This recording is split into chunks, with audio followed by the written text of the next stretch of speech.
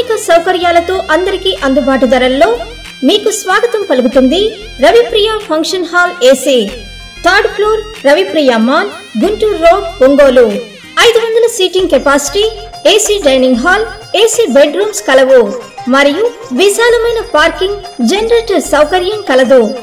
వివాహాది శుభకార్యాలకు నిశ్చితార్థం ఓనీల function పంచల function birthday parties office meetings మొదలగు అన్ని రకాల పార్టీలకు ఫంక్షన్స్కు చక్కని వేదిక రవిప్రియ ఫంక్షన్ హాల్ ఏసీ. మీ అభిరుచికి అనుగుణంగా డెకరేషన్ మరియు లైటింగ్ చేయబడును. బుకింగ్ కొరకు సంప్రదించండి. Chakka Hari cell nine eight four nine one five zero three seven five Chakka Krishna cell nine two nine three five five double seven two one. Ramakrishna cell nine seven zero three four nine eight four nine eight. Ravipriya function hall AC. Third floor Ravipriya mall Guntur road Ongole. Andhra Pradesh భవిష్యత్తు బాగుండాలంటే చంద్రబాబు ముఖ్యమంత్రి కావాల్సిన అవసరం ఉందని మాజీ MLA Damacharla Janardhana సతీమణి దామచర్ల నాగసత్యలత పేర్కొన్నారు. రాబోయే ఎన్నికల్లో మహిళలంతా తెలుగుదేశం పార్టీకి అండగా నిలవాలని కోరారు. సూపర్ సిక్స్ పథకంలో మహిళలకు ప్రకటించిన పథకాలను వివరించారు. నారీ కోసం నాగసచతమ్మ కార్యక్రమంలో భాగంగా ఒంగోలు ఇరవై ఒకటవ డివిజన్ ధారావారితోట మహిళలతో దామచల్ల నాగసచ్చలత ప్రత్యేక సమావేశం నిర్వహించారు. ఈ సందర్భంగా నాగసచ్చలత ప్రసంగిస్తూ కొప్పోలు చింతల్లో టిడ్కో ఇళ్ళు తొంభై శాతం పూర్తయినా గత ఐదేళ్ళలో మిగతా పనులను పూర్తి చేసి లబ్ధిదారులకు అప్పగించలేని దుస్థితిలో రాష్ట్ర ప్రభుత్వం ఇక్కడ నాయకత్వం ఉందన్నారు. తెలుగుదేశం పార్టీ అధికారంలోకి వచ్చాక టిట్కో ఇళ్ళను పూర్తి చేసి లబ్ధిదారులకు అందజేస్తామని అదేవిధంగా ఇళ్ళు లేని నిరుపేదలకు రెండు సెంటు చొప్పున ఇంటి స్థలాలు ఇవ్వనున్నట్లు తెలిపారు. ఈ సమావేశంలో తెలుగు మహిళా ప్రతినిధులు ఆర్ల వెంకటరత్నం రావుల పద్మజ తదితరులు పాల్గొన్నారు. అమ్మల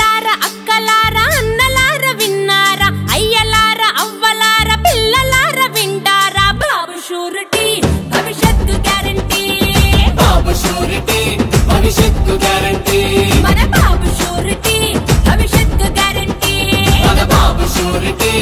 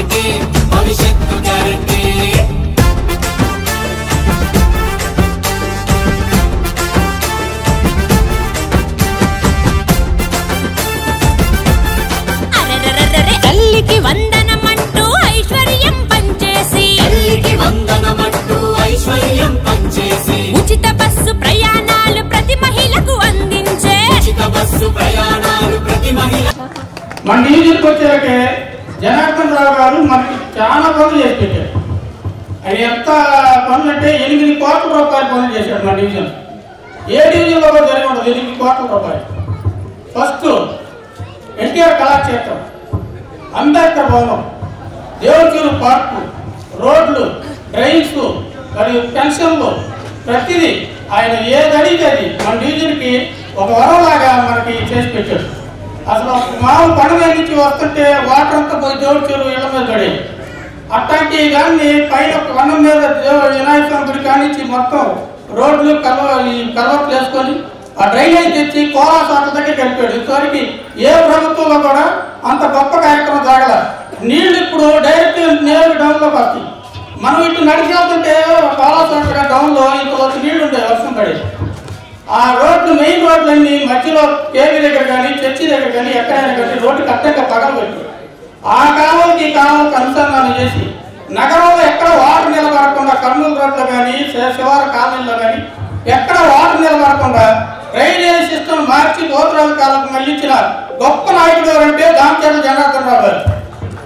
మరి డంపింగ్ యార్డు నేను తెస్తా నేను తెస్తానని చెప్పి రెండు మూడు సార్లు ఓట్లు వేసుకొని జనాన్ని మోసం చేసి గెలిపించిన ఈ బాలని శ్రీనివాస తేలకపోతే జనార్దన్ గారు ఫస్ట్ దేవంగల్ని డంపింగ్ యార్డు తెచ్చి ఇది అభివృద్ధి అంటే చూపించిన గొప్ప నాయకుడు జనార్దన్ గారు. మరి గాంధీ పార్క్ చూడండి. ఎంత గొప్పగా మనకు అసలు ఎక్కడన్నా ఒక అరగంట కూర్చోవాలంటే మనకు ఆట విడిపి ఉండేది మరి గాంధీ పార్క్ని స్క్రీన్ తోటి నీతి నిజాయితీ లేని పేదల స్థలాలు కూడా ఆక్రమించుకొని వేల కోట్లు సంపాదించుకొని అభివృద్ధి చేయకుండా ఎలక్షన్లు వచ్చినప్పుడే బయటకు వచ్చేటువంటి బాలినేని శ్రీనివాసరెడ్డి కావాలో మీరే తెలుసుకోవాలని ఈ డివిజన్ సంబంధించి ఎంత అభివృద్ధి చేశారని చెప్పేసి ఆయన వివరించడం జరిగింది. అందులో భాగంగానే సత్యరథం గారు ఈ డివిజన్ సంబంధించి మీ సమస్యలు వినటానికి ఆ సమస్యలన్నీ కూడా దామచర్ల జనార్దన్ బాబు గారి దృష్టికి తీసుకెళ్ళి తీసుకెళ్ళడానికి ఇక్కడ మీలో ఏకమై మమేకమై మీ సమస్యలు వినటానికి వచ్చారని చెప్పి తెలియజేసుకుంటా ఉన్నాను. అయితే నేను భవిష్యత్ గ్యారంటీ తపోదోల భాగంగా ఈ డివిజన్ మొత్తం తిరగడం జరిగింది. ఇక్కడైతే కొంతమంది పాపం పేదవాళ్ళు టిట్కో ఇళ్ళకి డబ్బులు కట్టి మాకు రాలేదని చెప్పేసి చాలా బాధపడతా ఉన్నారు. మేము ఒకటే చెప్పాం. మాకు జనార్దన్ బాబు గారు ఒకటే చెప్పడం జరిగింది. వాళ్ళు ఏమని ఇద్దరిని బాధపడద్దండి. నేను మళ్ళీ గెలిచి వస్తాను.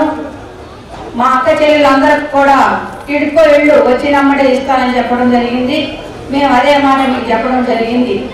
మన జిల్లాలో ఎక్కడ తిరిగిన ఆడవాళ్ళు ఎక్కడికి వెళ్ళిన జిల్లా మొత్తంలో ఏ దేనికి బస్ ఛార్జెస్ తీసుకోగల ఫ్రీగా బస్ ఎక్కొచ్చు. ఫ్రీగా వస్తే తిరగచ్చు. పక్క ఊరికి వెళ్ళినా ఏ ఊరికి వెళ్ళినా ఇంకొకటి ప్రతి ఒక్కరికి సంవత్సరానికి మూడు సిలిండర్లు ఫ్రీ గ్యాస్ సిలిండర్లు.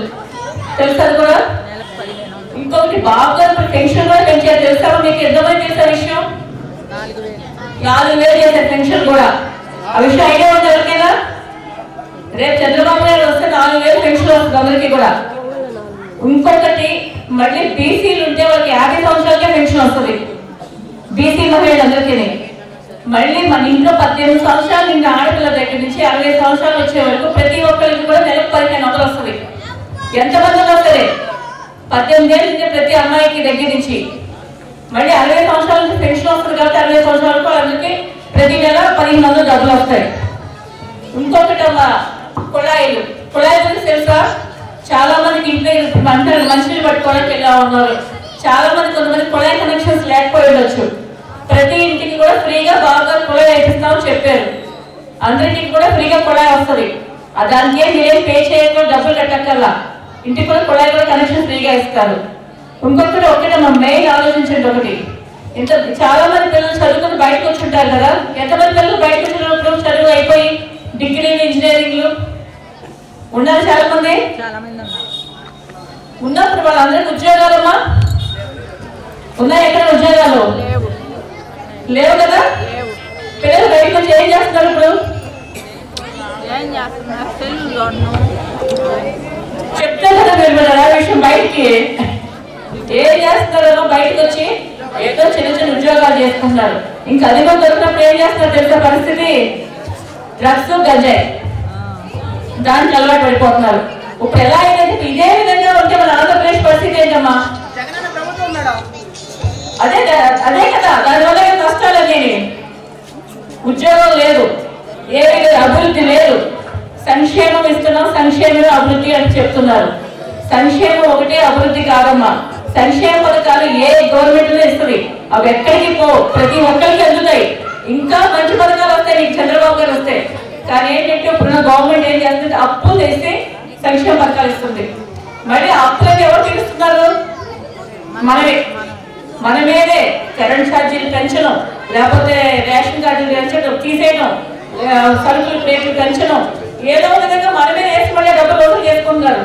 అవన్నీ తెలుసా నీకు? ఇదివరకు ఎంత ఉన్నాయి ఇంటికి వచ్చినప్పుడు ఎంత ఉంటున్నాయి ఆలోచిస్తుంటే అర్థమవుతుందా మీకు? అంటే బాగా వస్తే సంక్షేమ పథకాలు ఇస్తారు. కానీ ఎలా ఇస్తారమ్మా? రెవెన్యూ వస్తుంది. కంపెనీలు వస్తే బాగా నమ్మి.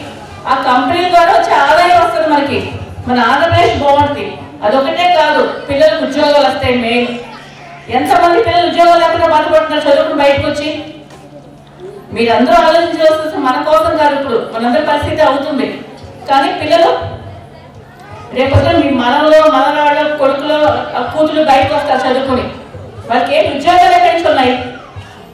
ఇప్పుడున్న సీఎం నమ్మి ఏ కంపెనీ రాదు ఆంధ్రాకి. దానివల్ల ఎక్కడ ఉద్యోగాలు లేవు. పిల్లల పరిస్థితి ఏంటి? పిల్లలు పాడైపోతే పెద్దల పరిస్థితి ఏంటి? ఇంట్లో ఎంత బాధ చెప్పండి. తల్లిదండ్రులు ఎంత నరకం అనిపిస్తారు ఎవరిని ఇవన్నీ ఆలోచించండి ఒకసారి మీరమ్మా. మన పిల్లలు కూడా సరే మళ్ళీ సంక్షేమ పథకాలు తీసుకుంటూ మనతో పాటు కూర్చోబెట్టుకుందాం. ఏదో సంవత్సరం పదిహేను వేలు తీసుకుందాం అనుకుంటే ఇప్పుడున్న గవర్నమెంట్ గెలిపించుకోవాలి మనం అలా కాదు పిల్లలు బాగుపడాలి. వాళ్ళ భవిష్యత్తు ఒక దారిలో ఉండాలి. మంచి ఉద్యోగాలు చేసుకోవాలంటే కంపల్సరీ బాబు గారు రావాలి. బాబు గారు వస్తేనే నమ్మకంతో కంపెనీలు వస్తాయి. దాంతో పిల్లలు బాగుపడతారు. ఒక్కసారి ఆలోచించండి అమ్మా. ఎవరికైనా అభిమానం ఉండదు మా పార్టీ ఇది మా పార్టీ ఇది మాకు ఇది అని చెప్పని అభిమానం పక్కన పెట్టండి ఈసారి. ఎవరైనా సరే మన కోసం మన రాష్ట్రం కోసం మన ఒంగోలు కోసం మన ఈసారి ఓటేయాలి. ఆలోచించి మంచి నిర్ణయం తీసుకోవాలి. లేదంటే మన పిల్లల భవిష్యత్తు మనం పాడు చేసుకోవాలి అవుతాం. ఇది నిజం వాస్తవం ఇది. ఏంటంటే ఈసారి ప్రతి ఒక్కరు ఆలోచించి నిర్ణయం తీసుకోండి. ఏ పిల్లవారికి లొగకండి. అంటే మంచి మిషన్. చాలా మంది యూత్ ఉన్నారు ఇక్కడ చాలా మంది పిల్లలు ఉన్నారు. మీరంతా రోజు ఫేస్బుక్లు పేపర్లు టీవీలు ఫాలో అవుతున్నారు కదమ్మా? అందరూ? ఎలా ఉందో చూస్తున్నారు రాష్ట్ర పరిస్థితి అందరూ? పక్క రాష్ట్రాలు మన ఆంధ్రప్రదేశ్ అంటే నలభై స్టేట్ మన ఆంధ్ర వచ్చింది. ఒక టైంలో ఆంధ్రప్రదేశ్ ఒక అంత హైట్ నిలబడే ఆంధ్రప్రదేశ్ పక్క రాష్ట్రాలు మీరు ఆంధ్రలో నవ్వుతున్నారు మనం చూసి. అలాంటి దిగజారి మన ఆంధ్రప్రదేశ్ వెళ్ళిపోయింది. ఇంకా ఇదే గవర్నమెంట్ మనం గెలిపించుకున్నాము అంటే కనుక ఇంక ఎవరింట్లో వాళ్ళు ఉండక్కల అంటే పక్క దేశాలకు వెళ్ళిపోవాలంటే ఎవ్వరు ఉండరు ఆంధ్రప్రదేశ్ మన ఇంట్లో మనం ఉండే హక్కు కూడా ఉండదు ఇంకా. ఆ టైప్లో ఆంధ్రప్రదేశ్ తయారవుతుంది ఆలోచించి ఒకసారి మంచి డిసిషన్ తీసుకోండి. జనార్దన్ ఒంగోలు ఎలా ఉంది?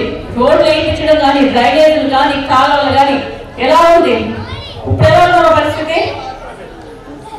ఇంకొకటి చాలా మంది ఆలోచిస్తున్నారు టిట్కో ఇల్లు గురించి. చాలా మందికి డబ్బులు కట్టున్నారు టిట్కో ఇల్లు అమ్మ టిట్కో రెండు వేల పంతొమ్మిదిలో మన గవర్నమెంట్ పోయేటప్పటికి టీడీపీ గవర్నమెంట్ దిగిపోయేటప్పటికి ఆల్మోస్ట్ ఎయిటీ పర్సెంట్ టిట్కో అయిపోయాయి అన్ని చోట్ల.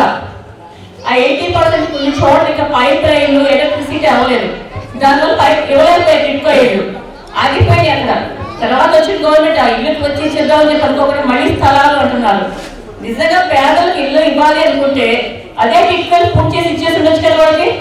అవునా సార్? చెప్పండి ఒకసారి. ఇంతమంది టిట్కోలు కట్టున్నారు కదా. నిజంగా ప్రతి పేదవాడికి ఇల్లు ఇవ్వాలంటే అదే ఇచ్చి వాళ్ళ పేరు వేసుకుంటే ఎవరు కాదని వాళ్ళు లేరు కదా? అందరూ ఆనందపడతారు కదా? అవునా కదా? ఇవాళ ఉద్దేశం ఉంటే మరి ఎందుకంటే టిట్కో ఆపేశారు? ఇరవై శాతమే పనులు అవ్వాల్సింది టిట్కో అంటే టీడీపీ గవర్నమెంట్ చేసింది టీడీపీ గవర్నమెంట్ చేసిన ఏ అభివృద్ధి కూడా ప్రజలకు అందకూడదు. ఏ మనిషి కూడా గవర్నమెంట్ రాకూడదు. అని ఉద్దేశమే కదా? మీరంతా ఆలోచించినప్పుడు టిట్కోయిల్ కంపల్సరీ మీ అందరికీ వస్తాయి మళ్ళీ చాలా మంది కట్టుకోవాలి అందరూ కూడా రసీట్లు పెట్టుకున్నాండి. రేపు జనాభా రాగానే మొత్తం మీ అందరికీ కూడా టిట్కోయిల్ మళ్ళీ ఎవరు కట్టిన డబ్బులు అందరికీ వస్తాయి. రానోడు కూడా తప్పకుండా మళ్ళీ టిట్కోయిల్ పెట్టుకుంటే కూడా అవన్నీ కూడా జనాభా గారు ఇస్తారు. డెఫినెట్గా వస్తాయి టిట్కోయిల్ మీరు మంచినీటి సమస్య కూడా తీరదు. ప్రతిరోజు నీళ్ళు వచ్చినా కూడా జరుగుతుంది ఒంగోలు. ఇవన్నీ ఆలోచించి ఒకసారి మీ పిల్లల కోసం మన ఒంగోలు కోసం రాష్ట్రం కోసం మంచి డిసిషన్ తీసుకుని ప్రతి ఒక్కరు కూడా ఒక్క నిమిషం అమ్మ మీరు ఇంటికి వెళ్ళిన తర్వాత ఆలోచించి నిర్ణయం తీసుకోండి. రేపు ఓటు వేస్తున్నప్పుడు మంచి కోసం చేయండి సార్ ఓటు. ప్రతి ఒక్కరు కూడా మన ఓటు విలువైంది అవ్వాలి ఇంకొకటి మెయిన్ చెప్పడం మర్చిపోయాను నేను. చాలా చోట్ల ఏరియాలో వాలంటీర్లు ఇంటికి వచ్చి బెదిరిస్తున్నారంట. మీ Aadhaar card vote card link అయి ఉంది. మీరు ఎవరు పోటేస్తున్నారో మాకు తెలుసు. రేపు పొద్దున మళ్ళీ వైఎస్ఆర్ గవర్నమెంట్ వస్తుంది.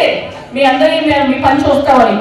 ఇది ఎవ్వరికి నమ్మకండమ్మా మీరు ఎవరు పోటేస్తారో మీకు తప్ప పక్కన ఎవరికి తెలియదు. ఇది మటుకు నిజం. ఏదో ఆధార్ కార్డు లింక్ అయింది ఓటర్ కార్డు లింక్ అయింది ఏదో ఈవీఎం చూస్తున్నాం. ఇవన్నీ అబద్ధాలు ఇది బెదిరింపులు. ఎవరు నమ్మద్దు. మన ఓటు మందైదే మన హక్కు మందే. అందరూ ఆలోచించి మంచి నిర్ణయం తీసుకుని ఈసారి తప్పకుండా జనార్దన్ గెలిపించాలని కోరుకుంటున్నాం. ఇంకొకే ఒకటి అడగాలమ్మా పవన్ కళ్యాణ్ గారి గురించి తెలుస్తారు మీరు? మరి ప్రతిపక్షంలో ఉన్న చంద్రబాబు గారికి సపోర్ట్ చేసే పవన్ కళ్యాణ్ గారు? చెప్పండి. అంటే అధికార పార్టీ వదిలేసి ప్రతి ఎందుకు సపోర్ట్ చేశారు మంచి కోసం అభివృద్ధి కోసం ఆంధ్ర రాష్ట్రం మంచితనం కోసం. అవునా కదా? ఎందుకంటే ప్రతి ఎ- ఎవరిని అధికారంలో గవర్నమెంట్ సపోర్ట్ చేస్తారు ఎక్కడైనా. కదా ఎంత దుర్మార్గమైన సీఎం మళ్ళీ రాకూడదు చంద్రబాబు గారిని సపోర్ట్ చేశారు. చంద్రబాబు గారిని నిలబడ్డారు. ఇవన్నీ ఆలోచించిన ప్రతి ఒక్కరు కూడా తప్పకుండా అందరూ కూడా ఇక్కడ జనసేన అభిమానులు టీడీపీ అభిమానులు అందరూ కూడా ఇది తప్పకుండా జనార్దన్ గారు గెలిపించుకోవాలి ఇక్కడ. పైన బాబు గారు గెలిపించుకోవాలి. అందరూ కూడా మంచి డిసిషన్ తీసుకుని మంచి నిర్ణయంతో ఓటేస్తారని ఆశిస్తున్నాము థ్యాంక్ యూ తెలుగుదేశం పార్టీ. జిల్లాని తెలుగుదేశం పార్టీ. జిల్లాని నారా చంద్రబాబు నాయుడు గారి నాయకత్వం. జిల్లాని పవన్ కళ్యాణ్ గారి నాయకత్వం. జిల్లాని తెలుగుదేశం బీజేపీ జనసేన కా- ఐక్యత.